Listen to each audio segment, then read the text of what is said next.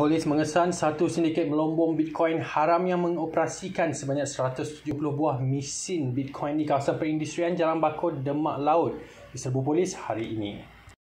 Serbuan sekitar jam 3 petang itu menyaksikan seorang lelaki warga Indonesia berusia 30 tahun yang mengaku sebagai penjaga kawasan itu diberkas manakala dua lagi individu sempat melarikan diri.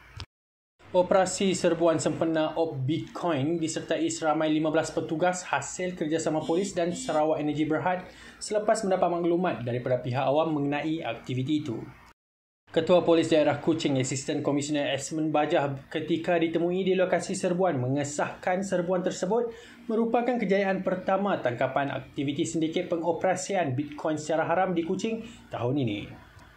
Justeru pihak polis memandang serius perkara tersebut dengan mengadakan kerjasama rapat bersama pihak Sarawak Energy Berhad di bawah Op Bitcoin dalam usaha mengesan jenayah tersebut daripada terus beroperasi secara haram.